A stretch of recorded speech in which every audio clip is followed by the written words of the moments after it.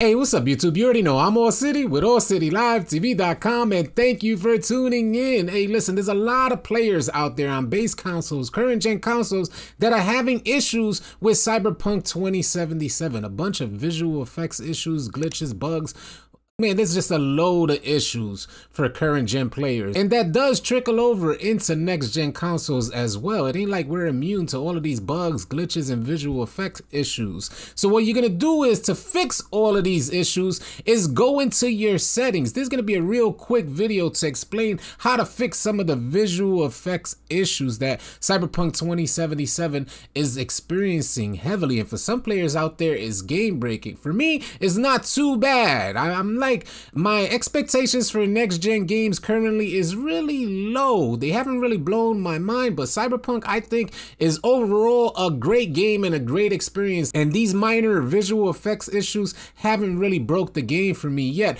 But if you want to fix some of them, if current gen does not have the processing power for Cyberpunk 2077, then this is gonna definitely help you out. We're gonna go into the first one up top and it's film grain. You're gonna want to turn that off And the film grain is a visual effects that imitates image grain. So you want to take off all of those type of visual effects if you don't want to have any type of bugs out there. Chromatic aberration, it has to do with coloring. So you want to make sure that that coloring is matched up well and you can tell the difference from one color to another and there's a good blend in there. That's chromatic aberration. We're going to turn that off as well. We, we want to see if like that's really going to affect like how how the game because the game is visually stunning. So we want to make sure that the game looks good as well and it plays good as well. Another thing that you want to take off is your motion blur and that's an effect that imitates the impression of speed. So it blurs the background as you're moving.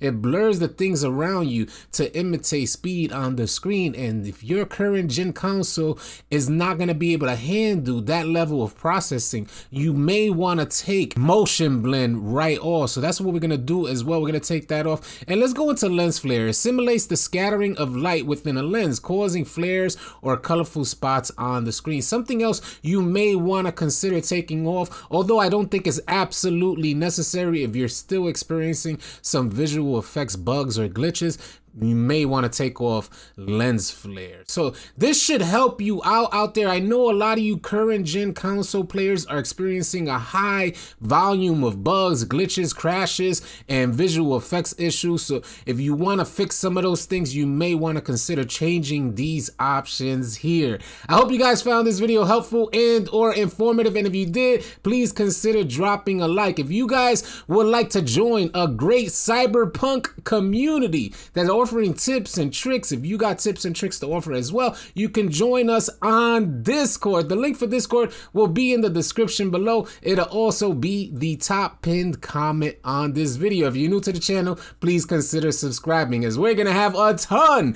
of Cyberpunk 2077 content coming your way. I'll catch you guys on the next video.